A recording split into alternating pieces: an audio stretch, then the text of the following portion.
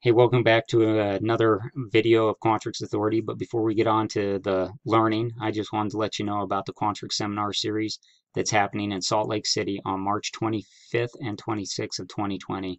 It's going to be an awesome seminar where Steve Bailey and I are going to share with you uh, what we know about Quantrix. And we're going to really try to help you become Quantrix masters and gain proficiency in this tool because it is awesome and it will improve your life if you can just grasp the concepts that Steve and I will share with you. It is worth uh, the price of admission, if you will. And I hope that I'll see you there. And I encourage you to go out to foresightgroup.com forward slash Quantrix seminar series to learn more and to register today. Hey, welcome back to another Netcast. I'm Rich Lopez, Quantrix Authority. I sincerely appreciate you joining me today for episode number where I'm going to show you how to prevent an input cell indicator in the first year when using recursion. This is in response to a question sent in to me by Frank.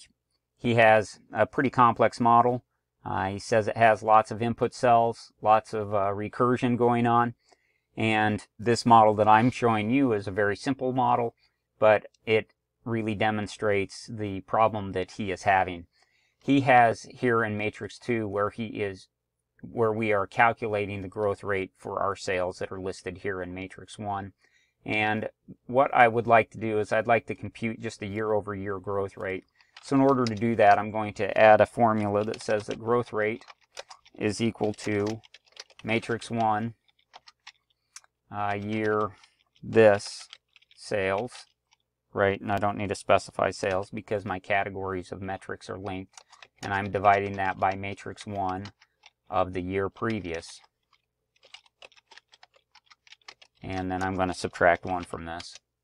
And it gives me a percentage. In this model and in Frank's model, he has this show cell indicators on, which shows a little green square or a little green triangle by default up here in the corner that just indicates that this is an input cell. Now in Frank's model, it's again, it's a large model these indicators mean something and it goes ahead and prompts the users that maybe they need to insert something into these cells. But there's certain cells, for example, that Frank doesn't want values to be entered in and he doesn't want this prompt to show, but he wants it to show on other input cells. And generally the where he doesn't want it to show is in the first year.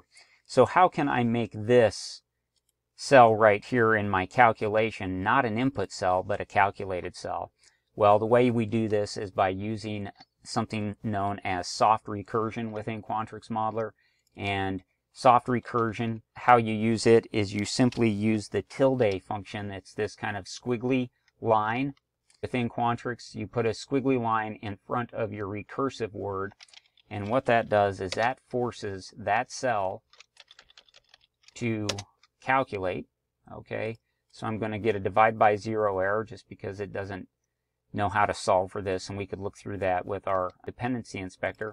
So then what I'm going to do is I'm going to write a clear error and put this formula in a clear error, and you can see that this is a calculated cell. It has a clear error applied to it, but I have no cell indicator as well now because this is now a calculated cell and that is what happens when you use recursion or soft recursion. Use this tilde with recursion within Quantrix. It goes ahead and makes your first instance uh, not uh, an input cell, but it makes it a calculated cell, and therefore you would lose your input cell indicator. So go ahead and uh, if you if you have a cell that you don't want to be an input cell and it's generally first in your list, go ahead and apply some soft recursion and it is calculated. If you have any questions about recursion or anything else in regards to Quantrix Modeler, I do hope that you'll reach out to me at quantrixauthority at gmail.com because I want to help you become a Quantrix master and I want to answer any Quantrix question you may be able to throw at me.